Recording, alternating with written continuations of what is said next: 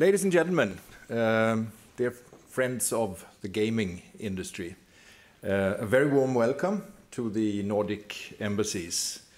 Um, my name is Per Thöresson. I'm the ambassador of Sweden to Germany. I've been here, posted here since March of 2017, so quite a long time. Uh, but I'm very happy that we are now hopefully approaching the end of the pandemic. And since this is uh, a an event under 2G rule. You can drop your masks if you want to. That's, that's fine. um,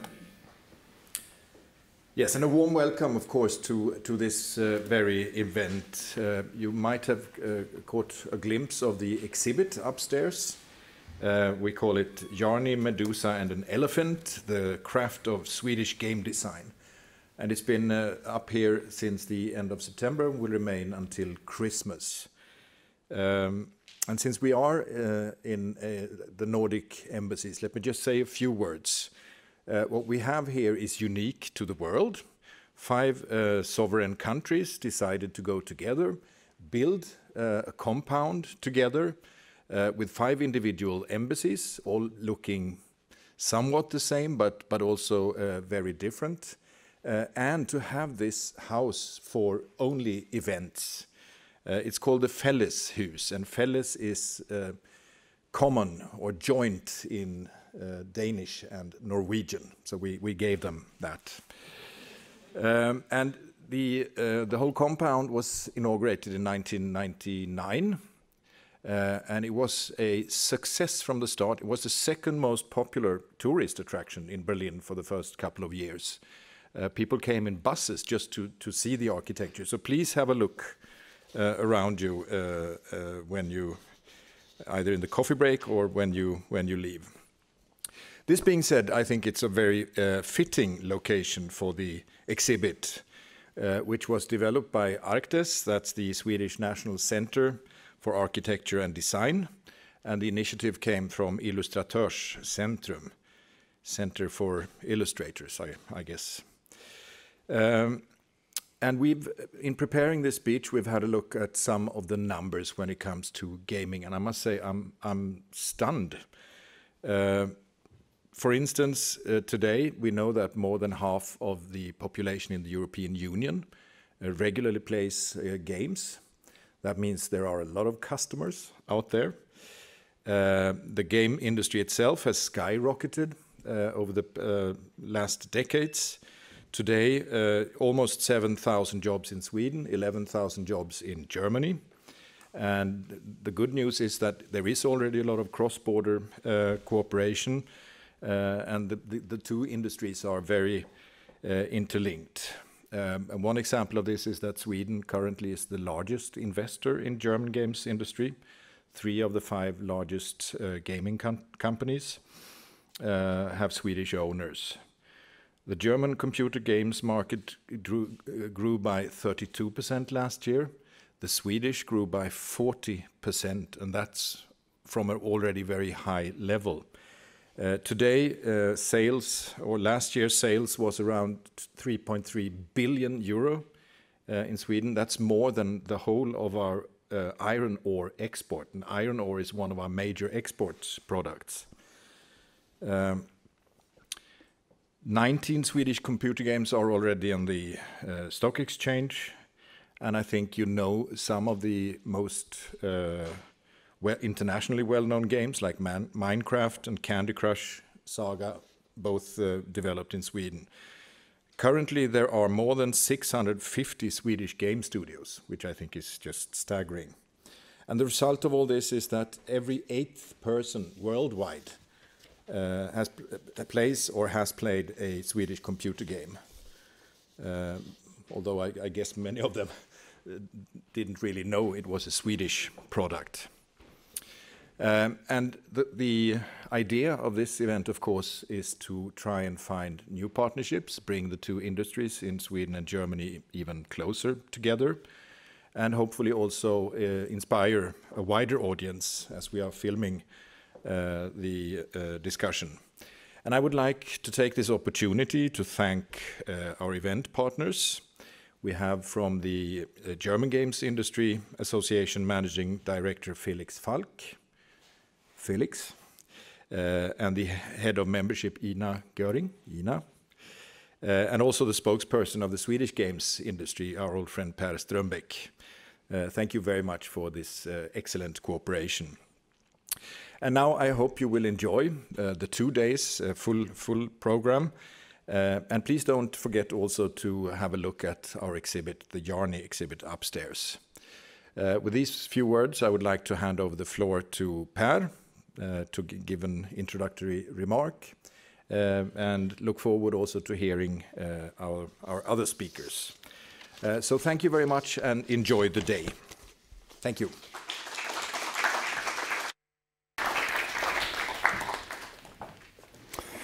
Thank you, Mr. Ambassador. Uh, my name is Per Strömbäck. I'm uh, the spokesperson and CEO of the Swedish games industry, and uh, it's my pleasure to be the host and moderator for the, this event, Know Your Game, Sweden and Germany coming together. And we have a great show for you, ladies and gentlemen.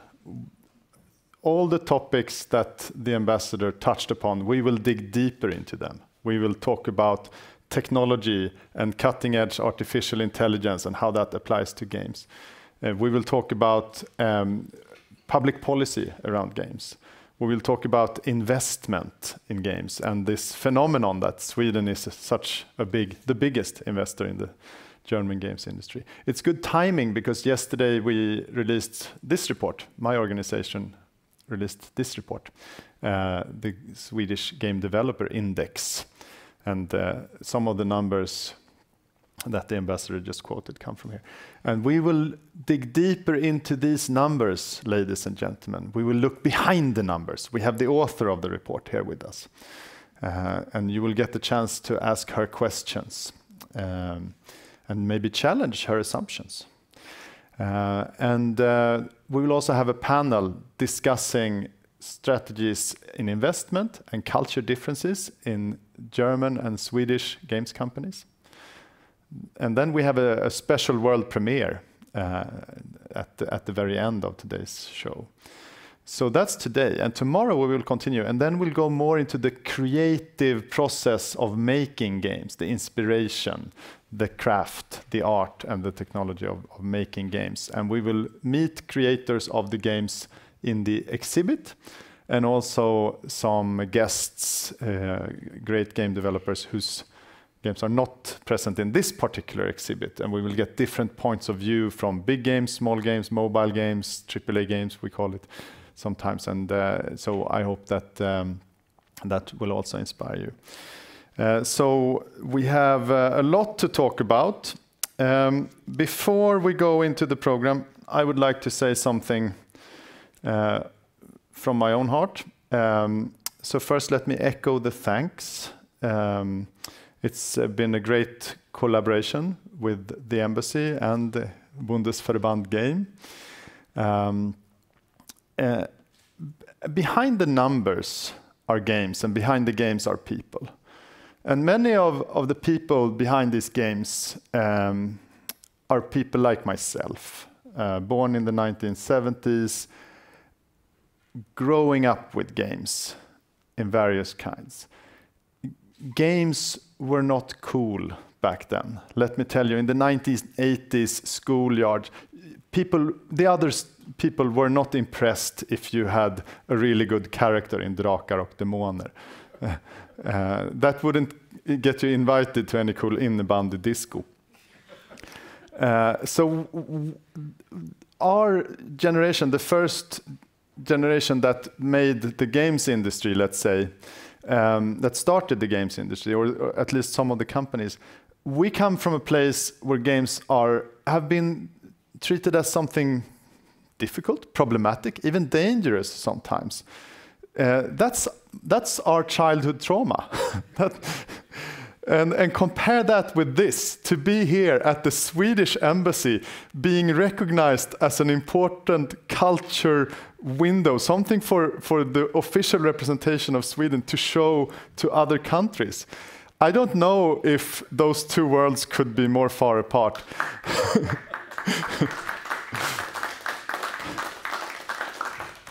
so this touches me deeply. Um, it's a great recognition. It's a great recognition. Uh, and one more thing.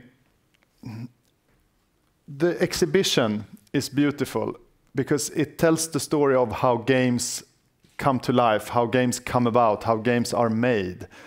A lot of exhibitions about games show the games, but this shows the process of making the game.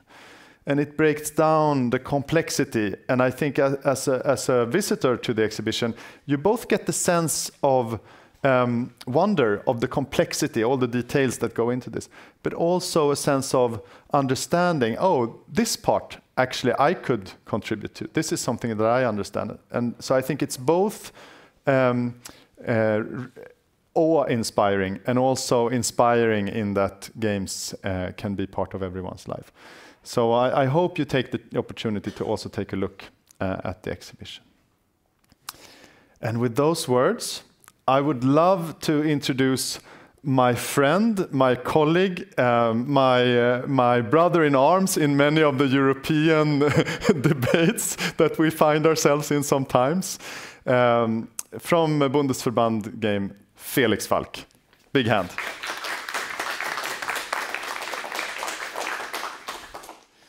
Wow, thank you very much uh, for this introduction. Um, dear Mr. Ambassador, um, dear Per, um, it's a pleasure to to uh, be part of this um, initiative and this partnership here, um, and of course. Uh, dear friends of the Swedish and German games industry. Um, I thought uh, when you came up with this idea that this would be a great example um, and a great thing to do, and we should, um, with, with many countries, do it even further and, and more often. So uh, it's, it's great to have this initiative here with the corporation. Um, it's, it's a pleasure to once more um, welcome the, the Swedish games industry in Germany. I mean, uh, when you look into uh, the pro um, daily production work, it's a close cooperation anyway, uh, but it's great, great to have it on such a beautiful spot like uh, the Swedish embassy in Berlin. Um, I do have one um, professional view and one personal view on um, the partnership between uh, the German and the uh, Swedish games industry. So first, the professional view.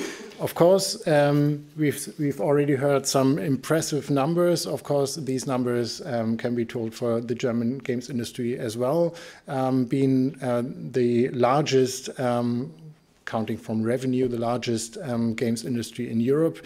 Um, it's it's impressive to see what in Germany has been developed over the last years. Just yesterday, we've seen uh, the first day of the new parliament. Uh, so uh, the um, Deutsche Bundestag, uh, all the um, members of parliament met for the first time, and uh, we are um, excited to see what kind of government will be built in the next weeks.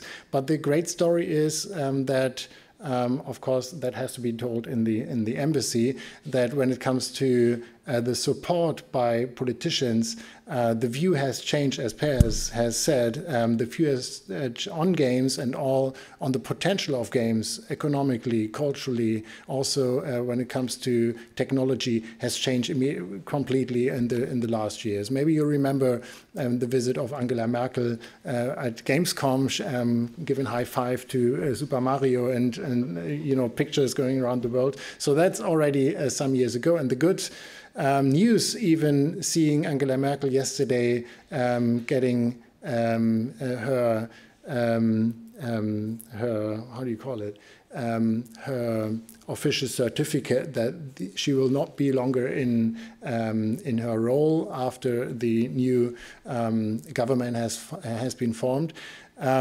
we are we are very happy that all the parties in the parliament are in favor of um, you know, pushing for the potentials of the games industry and games as a culture.